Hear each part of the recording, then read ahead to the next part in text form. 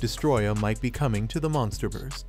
Director Adam Wingard mentioned Destoroyah in a recent interview and stated he is one of his favorites.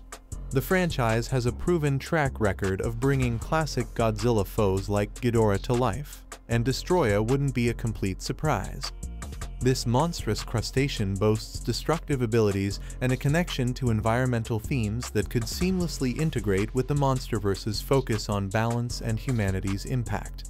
Additionally, with Godzilla X Kong delving into Hollow Earth, Destoroyah's origins as a subterranean creature perfectly align with the current direction.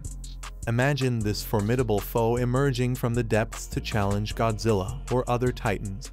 While the rumors remain unconfirmed, the potential for Destoroyah to fit the lore and challenge the MonsterVerse's order injects a thrilling dose of anticipation into the franchise's future. Destoroyah fever is gripping kaiju enthusiasts as rumors swirl about this fan-favorite villain stomping into the Monsterverse. While pure speculation, the possibility holds weight when considering the Monsterverse's established lore. Destoroyah is one of the very few monsters that can stand toe-to-toe -to -toe with Godzilla. This monstrous crustacean has also managed to kill Godzilla in the past. This is a clear indication that Godzilla needs to form alliances to face such a great foe.